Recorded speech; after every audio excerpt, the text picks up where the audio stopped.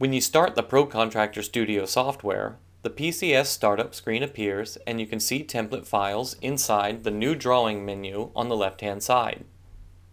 You can create your own template files by starting a new drawing, setting it up however you'd like, and then saving it as a template, or by choosing and customizing some of the existing templates. For this video, I'm going to click on the 8.5 by 11 at a 1 to 20 scale in portrait mode. As you can see, this drawing already has layers pre-built. I can add layers that I'll use on a regular basis. To do this, click on the Add Layer button at the bottom of the screen and pick a name for your new layer. I'm going to call this one Metal Edging. You can then assign it a color, line style, and scale to best suit your needs. Whatever layers you think you'll use most often, you should add. You can also add items that you'll use regularly, so that you don't have to repeat commands. For example, if you wanted to insert a title block, you could insert any title block you want.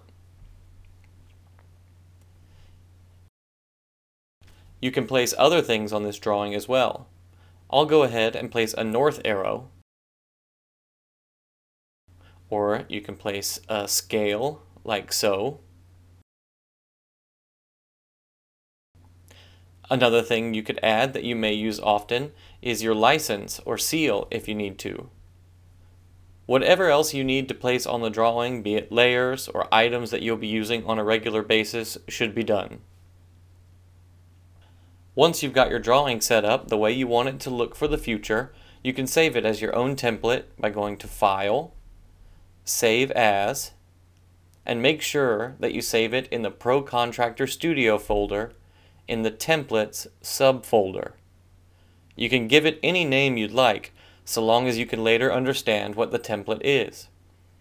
In this case, the template is an 8.5 by 11 at a 1 to 20 scale in portrait mode, and it's completely tailored for me, so I'll name it Complete.